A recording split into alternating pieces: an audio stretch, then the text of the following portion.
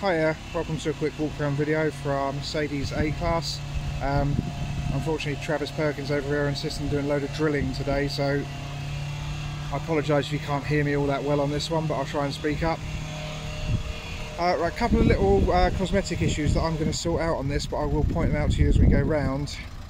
Uh, the main one being the wheels. As you can see these are like a two-tone wheel and the surface is quite worn on all of them so they are going to be done so see past that if you can please.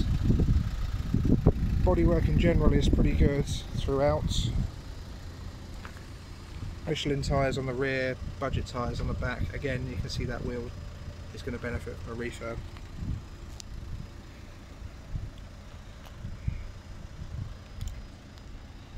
The other issue which is harder to make out on a video this bumper corner has been painted before.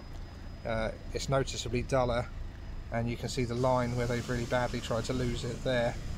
Um, so what I'm going to do is repaint that whole rear bumper.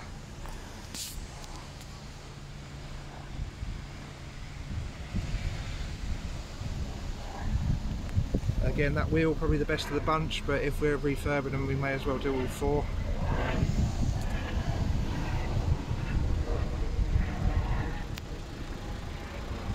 and that is probably the worst of them. There you are, you've seen all that now.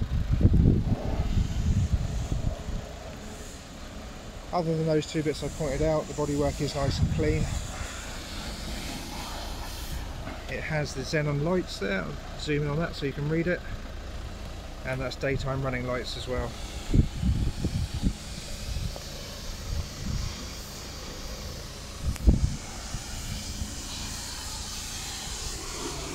We're going to have a look inside now.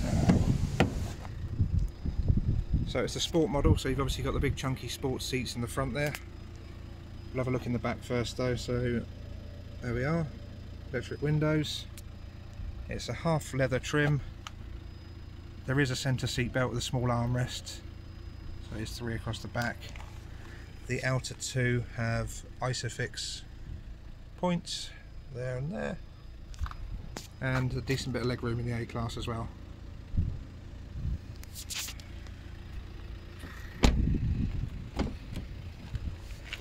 Get inside now where it should be a bit quieter. Okay, uh, so you've got electric mirrors there and electric windows front and rear. Automatic lights and your electronic parking brake is just below that. It's the newer style digital dash in the centre there. As you can see the mileage is displayed 72,517. Uh, multi-function sports steering wheel. So your onboard computer functions are there. And then your, if you link your phone up via Bluetooth, which this has got, that's the controls there. And there's a voice command switch. I'm unsure if this has got voice command or not. I'll press it and see if we can find out. Yes, okay, so you can control the nav and bits and bobs like that via the voice command. Now the screen is fine, just on the camera and the video it can look like it flickers because it has a different refresh rate to the camera. So, but in person, this is all fine. So radio, auxiliary, there's your nav, I'll come back out there so you can see the map. Touchscreen? I don't know. No, it's not touchscreen. I'm controlling it via this little dial down here. So, can't it's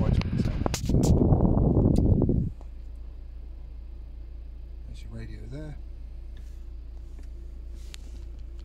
There's your heating controls there.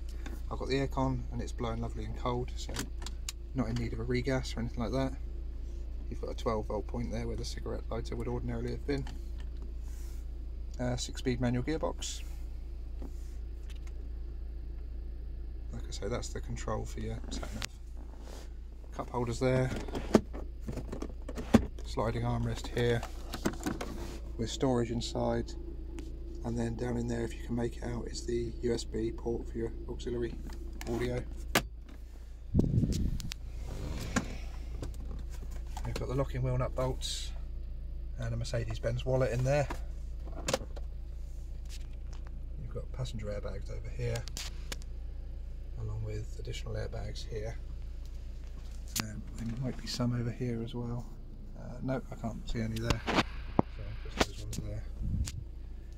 Uh, right, I think I've covered everything in here. Um, if I've missed anything, please just pop in and um, either see us or you can give me a call and I'll, I'll, come out and check and tell you over the phone if there's a certain feature that it has or hasn't got. I'll include close-up photos, uh, the interior, exterior and the service history as well. But if I missed anything there, obviously give us a shout as well. Okay, thank you very much for watching.